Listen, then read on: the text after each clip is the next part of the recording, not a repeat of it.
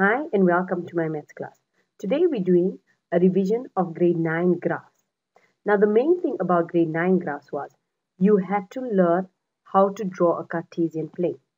Now if you pay attention to the Cartesian plane, we have 0 in the center and then we go 1, 2, 3, 4, 5, 6, 7, 8. But what I'm trying to show you is that we are increasing the numbers as we go away from the zero line. On the right hand side is positive. Then on the left hand side, we've got minus 1, minus 2, minus 3, minus 4, minus 5, minus 6, minus 7, minus 8. So we are going negative on the left hand side. And then for the y-axis, so remember this is your x-axis that we have just discussed. Now for your y-axis, when we are going on top, we are doing positive. So we have 1, 2, 3, 4, 5, 6, 7, 8. And negative will be down. Negative 1, negative 2, negative 3, negative 4, negative 5, negative 6, negative 7, negative 8. What is important is that the distance between each number must be the same. You can't decide to have a graph like this. Okay, so I'm doing one year and then I decided, hey, you know what, I'll do two day. And then I'll do three year and I'll do four year. You can't work without a scale. You have to work with a scale and the scale has to be consistent on each plane. Now, what does that mean? When it has to be consistent on each plane, you can have a graph that looks like this where I can have small lines here. But remember the same. So let's say here I'm having a distance of half a centimeter. So I'm having 1 2 3 4 5 negative 1 negative 2 negative 3 negative 4 on this centimeter on this line I have a half a centimeter gap between each number. I can have on this line a bigger gap.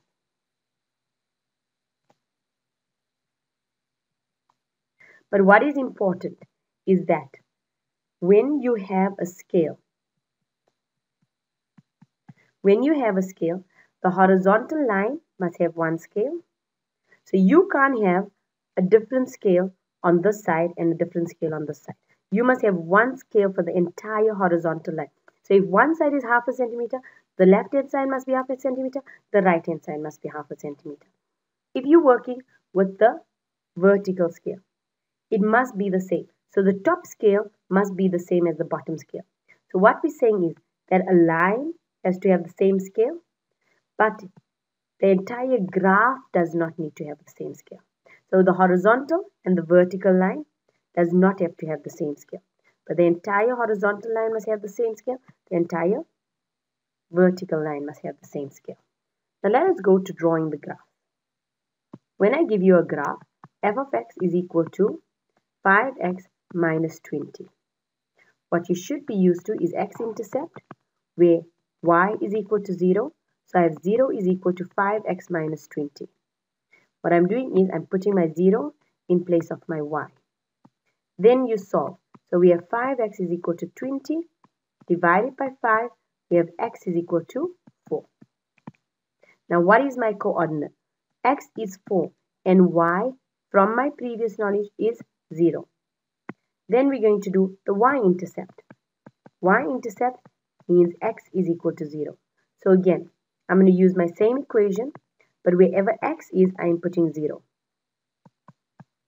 So what do I have? y is equal to minus 20. What is my coordinate? x is 0 I have stated that on top.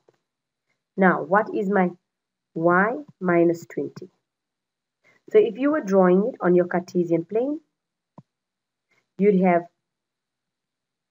let's say I've got 2, 4, 6, and here I've got minus 2, minus 4, minus 6, and then here I've got 10, 20, minus 10, minus 20. So what I'm showing you is my horizontal scale and my vertical scale does not have to be the same. But the entire vertical scale must be the same. The entire horizontal scale must be the same. My dots are on 0 and minus 20 and on 4 and 0. Then you take a ruler and you join the line. Thank you for watching.